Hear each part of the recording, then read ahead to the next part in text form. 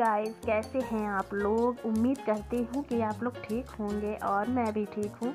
और मैं अब शाम से अपना ये ब्लॉग शुरू कर रही हूँ और मैं अपने श्रीयम को थोड़ा सा वो सो के उठी है तो मैं इसे तैयार कर रही हूँ। और आपने देखा मैंने थोड़ा सा श्रीयम के बर्थडे का ब्लॉग डाला है। ये इसका फ़र्स्ट बर्थडे का है। तो तब मैं ब्लॉग बनाना शुरू भी नहीं की थी। गाइज़ मैंने ब्लॉग बोल दिया है, मैंने इसके फ़र्स्ट बर्थडे का वीडियो डाला है, तब मैंने ब्लॉगिंग शुरू भी नहीं किया था, और इसमें शाम का हो रहा है पाँच बज रहे हैं शाम का तो मैं अपने सीएम को थोड़ा तैयार कर रही हूँ, आप देख रहे हैं, वो इधर उधर भाग रही है। सीरियसली वो कभी तैयार ही नहीं होती है, और बहुत भागा भागी करती है।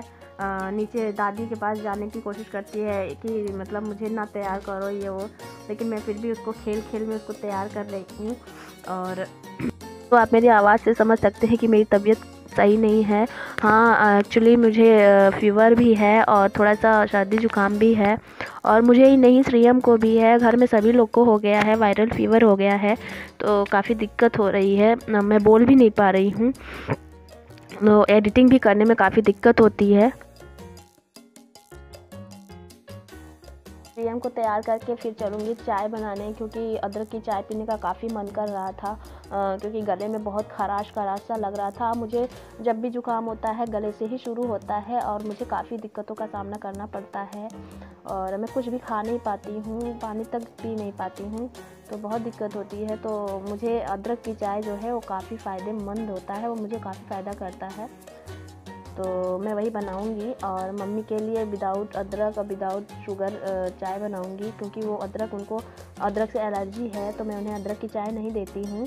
और और सीयू को मैं थोड़ा सा दूध पिलाऊँगी फिर उसके बाद मैं चाय बनाने जाऊँगी। तो आप देख सकते हैं वो बा, बाल में कंगी भी निकल आ रही है लेकिन फिर भी मैं ज़बरदस्ती उसको कंगी कर दे रही हूँ। तो गाइज़ मैं किचन में आ गई हूँ और मैंने चाय चढ़ा दिया है और ये मैं थोड़ा सा अदरक बना रही हूँ। मम्मी के लिए मैंने चाय पहले ही छान के निकाल लिया और मैं अपने चाय में अदरक कूट के डाल रही हूँ और थोड़ा काली मिर्च भी डालना था बट मैंने कहा अदरक थोड़ा ज़्यादा डालूँगी तो गले में अच्छा लगेगा। और थोड़ा श्रीयम के साथ खेल भी रही हूँ, वो आ गई किचन में तो मुझे गोदी लेने के लिए कह रही थी तो मैंने उसको गोदी ले लिया और उसके साथ थोड़ा मैं खेल रही हूँ। आपसे हाय हेलो करवा रही हूँ।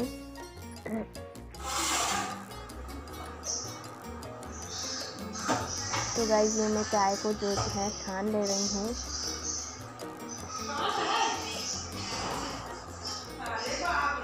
और अब मैं मम्मी चाय पियेंगे उसके बाद में रात के डिनर की तैयारी करूँगी। तो गाइज़ हम लोग ने चाय पी लिया है और मैं इधर डिनर की तैयारी कर रही हूँ और मैं बना रही हूँ आलू गोभी की सब्ज़ी और रोटी और ज़्यादा नहीं बना रही हूँ क्योंकि सबकी तबीयत ख़राब है तो बहुत ही कम सब खाना खाएँगे। तो थोड़ा ही बहुत बना रही हूँ। आप नीचे देख रहे होंगे डलिए में काफ़ी सब्ज़ी है बास्केट में। तो आज मम्मी डैडी गए थे मार्केट तो वहाँ से बहुत ही ताज़ी ताज़ी अच्छी अच्छी सब्ज़ियाँ लाए थे। तो अभी मुझे इसे फ्रिज में लगाना है तो ये मैं बाद में लगा दूँगी। जब टाइम मिलेगा तो पहले मैं यहाँ सब्ज़ी को मैं छौंक के तैयार कर दूँगी। उसके बाद थोड़ा डो तैयार कर दूँगी। आटा रख दूँगी गूँथ के। बाद जब सब खाएँगे तो गरम गरम रोटियाँ बना दूँगी।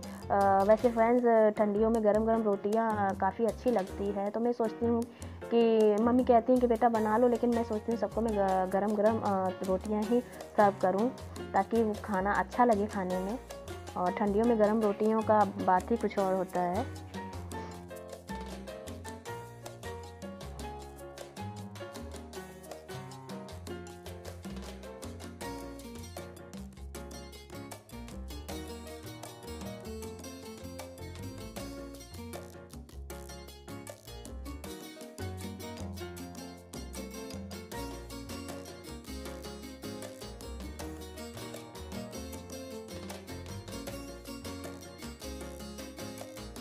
ये मैंने आटे का डो तैयार कर लिया है और मैं इसको रख दूँगी और ये आधे घंटे बाद मैं इसको सेकूँगी।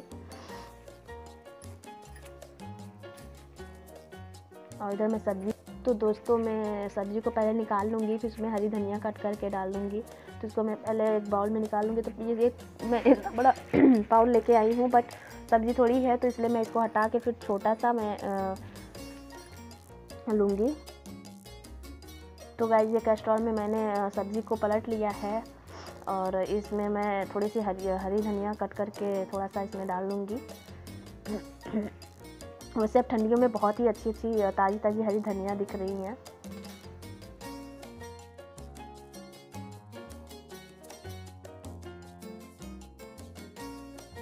तो दोस्तों, मैं अब रोटियाँ बनाने जा रही हूँ और फिर उसके बाद मैं डिनर सबको सर्व करूँगी।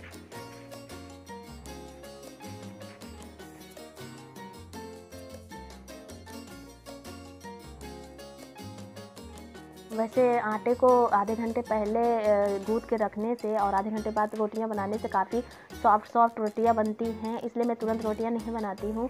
मैं पहले उस डो को रख देती हूँ कम से कम आधे घंटे तक तो, तो रख ही देती हूँ। फिर बहुत अच्छी पतली पतली मुलायम मुलायम रोटियाँ तैयार होती हैं।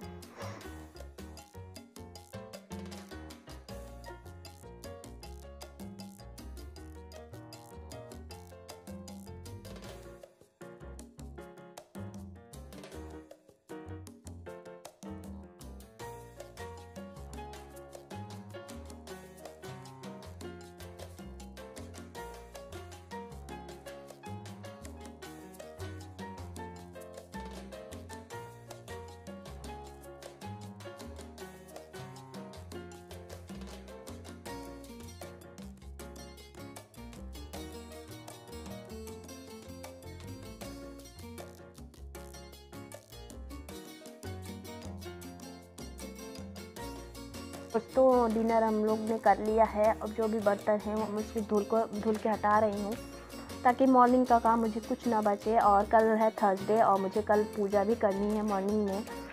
फास्ट है मेरा तो मैं जो भी है, जो भी काम है, वो पहले ही निपटा ले रही हूँ। और पूजा के बर्तन मैंने निकाल के रख दिए हैं। अगर रात को टाइम नहीं मिलेगा तो मैं सुबह उसको धो लूँगी। तो पहले मैं इधर बर्तन हटा दूँगी धो के।